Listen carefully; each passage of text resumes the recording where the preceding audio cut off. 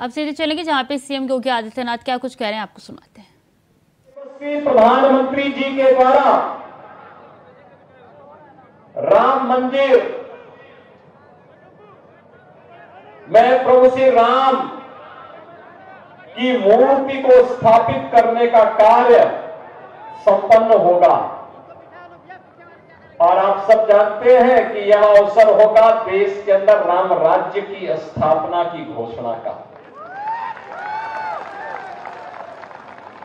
राम राज्य का मतलब बिना भेदभाव के शासन की योजना का लाभ, हर गाँव, हर गरीब, हर किसान, हर नौजवान, हर महिला, हर दलित, हर वंचित, हर आदिवासी, हर वनवासी, हर गिरवासी, हर एक उस व्यक्ति को जो आज़ादी के बाद से वंचित है, उस तक इन योजनाओं का लाभ पहुँचाने का।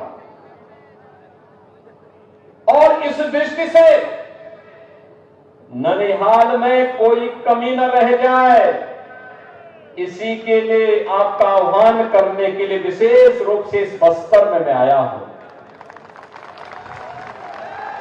भाइयों बहनों, ये वही भूमि है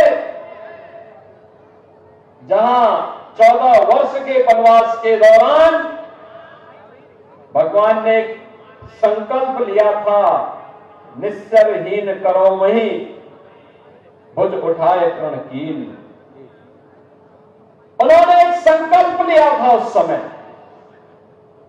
और भगवान ने एक ही संकल्प लिया था, जब तक इन निशाचरों को, इन राक्षसों को मैं समाप्त न कर दो, तब तक ये मेरा संकल्प है कि चैन से नहीं बैठूँगा।